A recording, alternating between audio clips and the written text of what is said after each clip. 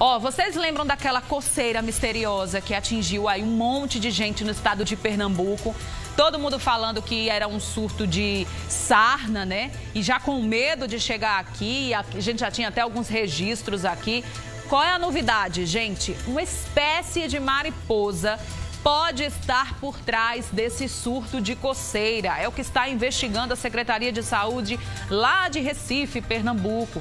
É, ó, em todo o estado já são 500 casos. Por isso que a gente precisa ficar em alerta. Meu Deus, dá uma agonia só de ver. Atenção para essa reportagem a partir de agora na tela.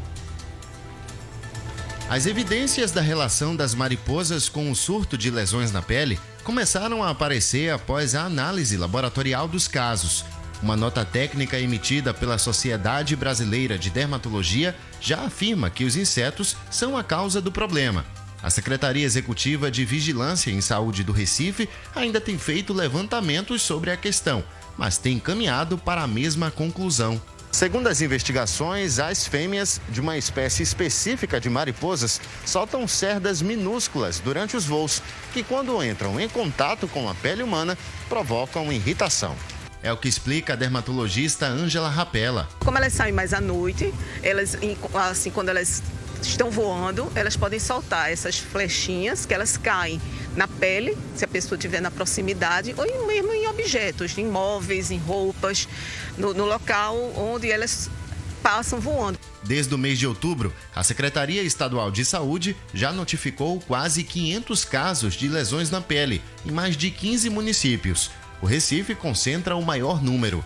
Diante da possível relação entre o surto e as mariposas, os especialistas já dão algumas recomendações. Entre elas, manter portas e janelas fechadas ao entardecer e retirar as roupas do varal também no fim da tarde.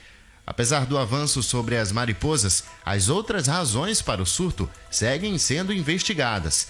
A dermatologista Angela Rapella ainda reforça que as pessoas que apresentarem sintomas não podem se automedicar. É importante que assim que seja identificado, que surja essa sintomatologia, ele procure um serviço especializado, um, um serviço mesmo da comunidade, a, a saúde da família, para poder o médico identificar a doença.